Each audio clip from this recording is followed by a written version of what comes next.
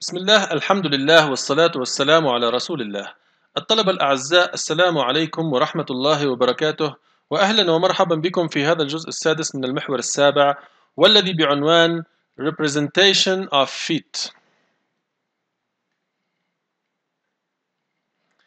طريقة كتابة ال fit. ال fit ما هو رقم؟ ال fit يعبر عن tolerance tolerance تسامح من تسامح يعني منطقة تسامح في المقاسات. أو في الأبعاد التي يتم إنجازها عن طريق التصنيع وقطع المعادن آه، بين قطعتين راح يتم تجميعهم وغالبا ما آه، نحصل هذا الوضع في تجميع الشافت مع الهول.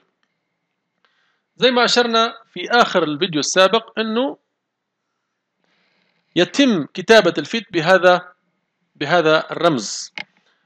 أول شيء بنحصل رقم هذا يسمى ال basic size أو ال nominal size. يعني مثلا قطر 45 ثم معانا إيش؟ upper case letter سواء ال E أو ال H أو ال J. 8 هذه تخص ال hole وفي هنا lower case مع رقم. هذه تخص ال shaft okay؟ هذه تخص ال shaft كل حرف له دلالة مع رقم أيضا له دلالة سواء في ال upper case أو في ال lower case سنتعرض لهذا في هذا الفيديو لاحقا.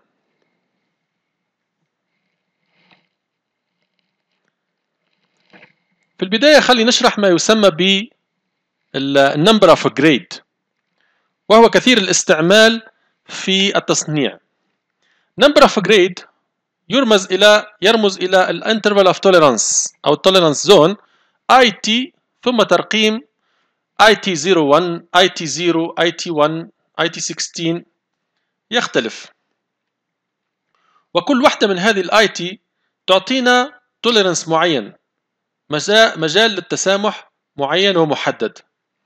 فمثلا هنا معانا أنواع ال IT لو نمر عليها سريعا على بعضها يعني في ال IT 01 هنا خلينا نحدد اللون.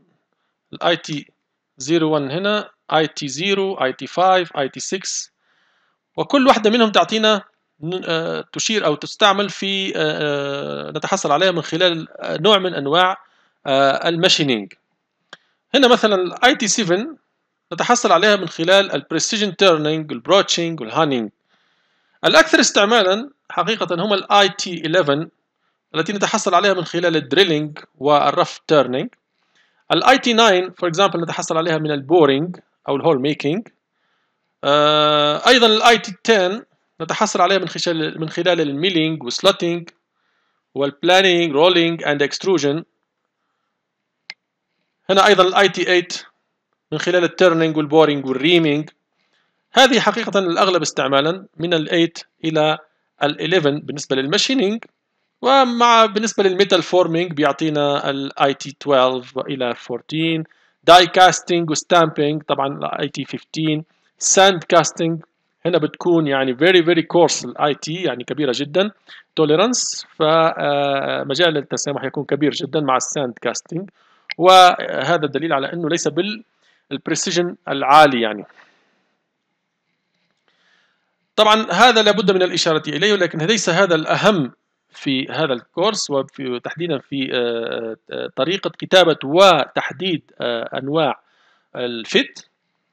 فنعود إلى هنا لتحديد أنواع ال fit.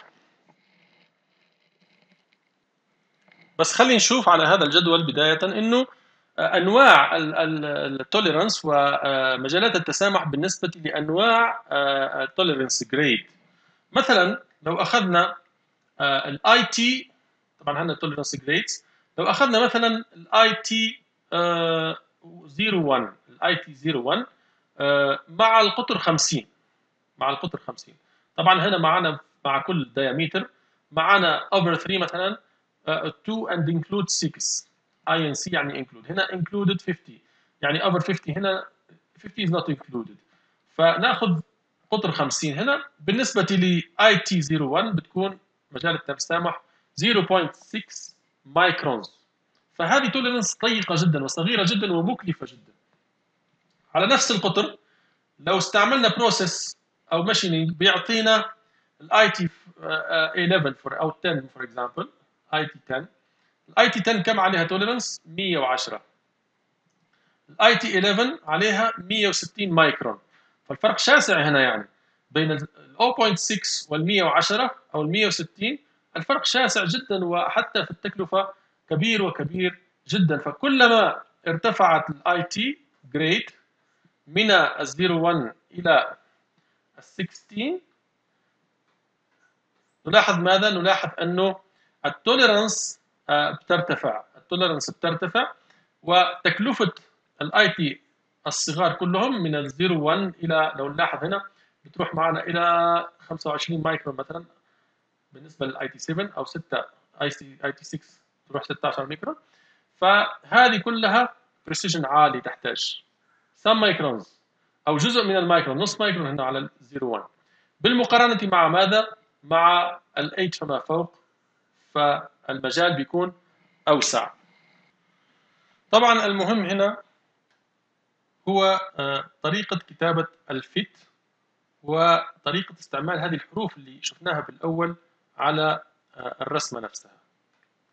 هنا معنا هذا الجدول. يعطينا range in a given tolerance grade مع tolerance of hole على هذا النص من الجدول. ومن هنا معنا tolerances of shafts. لو أخذنا مثال بالفيت representation اللي شفناها في أول هذا الفيديو لو اخترنا nominal size أو البيزك diameter 30 H7 G 6 for example راح نشتغل على هذا ال fit كيف راح نشتغل عليه؟ راح نشتغل عليه بهذه الطريقة قلنا أنه 30 هو إيش؟ هو ال basic size. أو ما يسمى بالnominal diameter. هذا القطر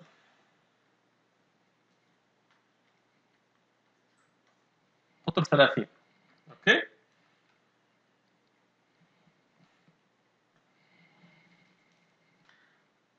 الثلاثين راح نحصلها في ال nominal sizes هنا أو ال basic sizes لازم نشوف هنا كلها معانا from 1 up to 3 over 3 up to 6 over 50 up to 50, 80 لو نشوف ال note تحت هنا up to means including over means excluding. فلا بد نختارها up to 30 هنا معانا up to 30 يعني 30 included وليس over 30 فالقراءة راح تكون على هذا ال line up to 30 راح القراءة تكون على هذا ال line تمام؟ طيب ركز معايا. لو حددنا آه لو حددنا هلا ال H هذه. H7 H H7 ال upper case زي ما حكينا إنه تخص إيش؟ تخص ال hole H7 هي معنا هنا. فالتحديد راح يكون بالقراءة مع هذا ال column okay؟ إذا التقاطع هنا راح يكون معنا يعطينا ال H7 على قطر 30 ال tolerance plus 21 microns minus 0 طبعا في ملاحظة هنا إنه بالنسبة لل H capital على ال holes دائما وابدا ال lower deviation ال lower deviation تكون إيش؟ تكون zero وهنا يعني إيش؟ لو اخترنا ال H هذا يعني ال hole basis system لو أخذنا ال H ما دامت صفر لو أخذنا ال H على ال hole فيكون hole basis system ولو أخذنا ال H هذا هذا هو ال H آه، ولو أخذنا ال H على ال shaft فيكون shaft basis system طيب خلينا نحدد هلا ال shaft. طيب ال shaft خلي نعطيه ال color مثلا الأزرق. هنا. ال shaft معانا جي 6 هذا ال shaft. okay؟ جي 6 هذا الجي 6 إذا القراءة راح تكون مع هذا العمود. القراءة مع هذا العمود. التقاطع مع الرقم 30 على ال nominal size راح يعطينا إيش؟ راح يعطينا القراءة هنا وال IT تبع الجي 6 تكون إيش؟ minus 7 minus 20 فعلى طول ال hole هذا راح يطلع معنا إيش؟ قطر 30 plus 21 minus 0 وهنا ال shaft راح يكون معنا قطر 30 minus 7 minus 20 microns okay؟ طبعا للكتابة الصحيحة لازم تكون بال millimeters. فالأصح إنه نكتب هنا 0.021 ملم هنا 0.00 هنا أيضا الأفضل كتابة 0.007 وهنا 0.020 okay؟ بال millimeters. فهنا حددنا ال tolerance هنا 30 عفوا. هنا حددنا ال tolerance تبع ال hole وهنا حددنا ال tolerance تبع ال shaft. okay؟ من الملاحظ هنا إنه ال minimum size ال minimum si... آه عفوا ال maximum size على ال shaft تمام؟ اللي هي minus 7 microns أقل وأصغر من ماذا؟ أصغر من ال maximum size على ال hole فلو رسمنا ال maximum size تبع ال shaft هذا ال maximum أقل من ال minimum size تبع ال hole هذا ال hole وهذا ال minimum size فهذا بتكون إيش؟ هذا على طول تكون clearance fit. تكون clearance fit. في هذا المثال. 530 H7 G7 لو نرجع إلى شريحة البداية زي ما قلنا إنه symbol أو representation of fit فيها جزء تبع ال basic size وفيها جزء تبع ال hole اللي هو upper case مع الرقم وفيها جزء lower case مع الرقم اللي هو يرمز لل shaft. على هذا ال graph معانا distribution جديد لأنواع ال fits وأنواع ال shaft وال hole طبعا هنا معانا ال zero line تبع الايش تبع ال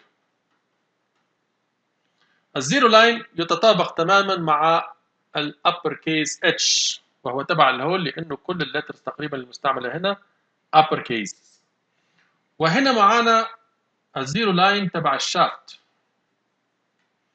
وال zero line تتطابق مع ال upper deviation لل H lower case في ال shaft هذا بيعطينا إيش؟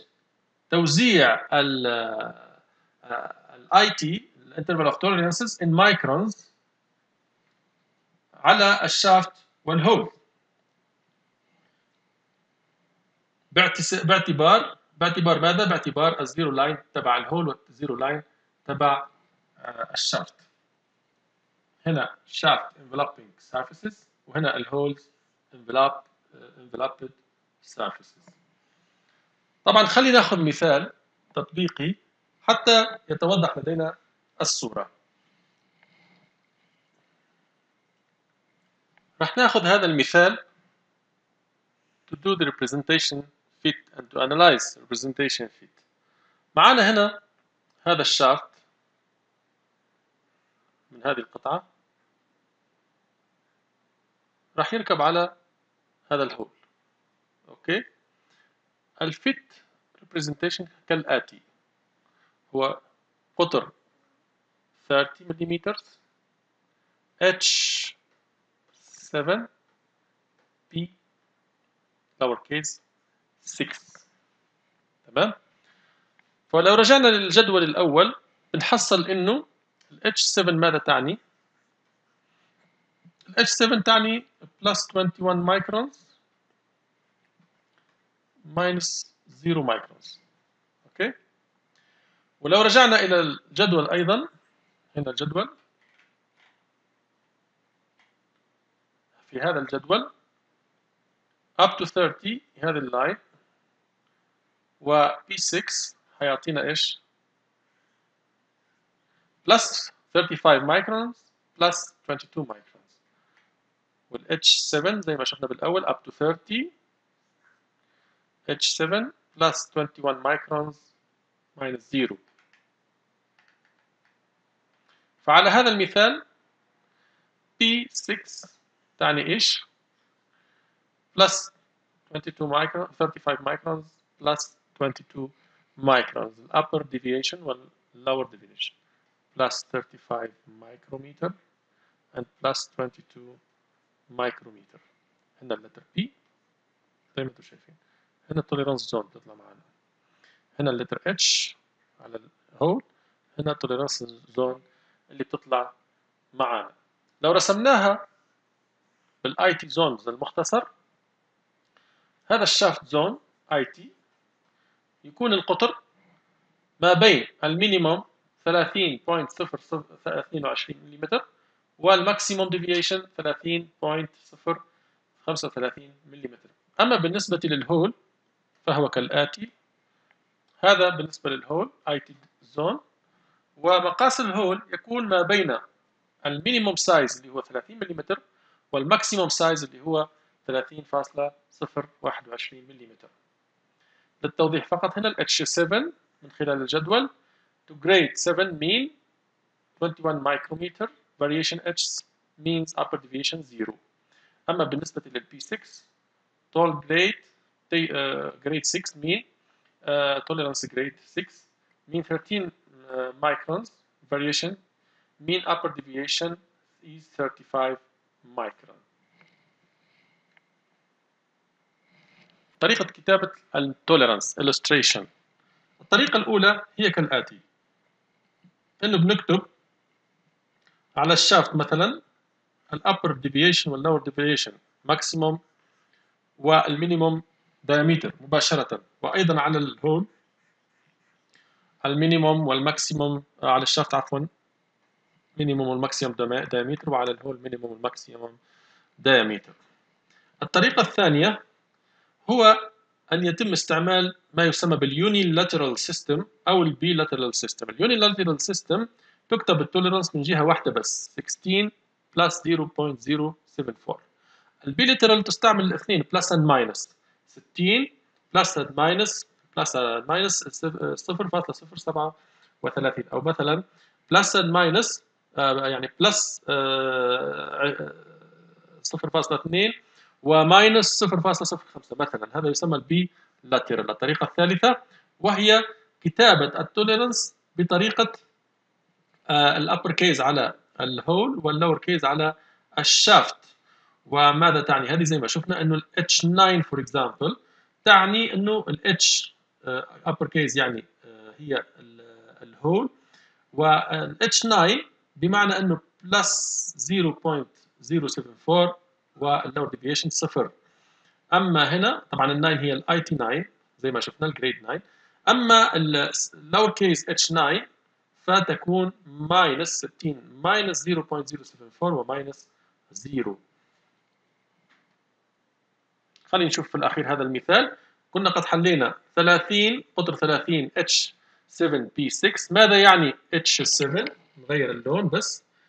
اتش 7 H7 ماذا تعني؟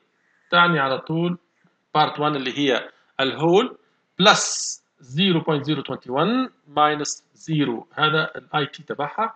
أما بالنسبة لل shaft اللي هي P6 ال P6 ماذا تعني؟ P6 تعني plus 0.035 plus 0.022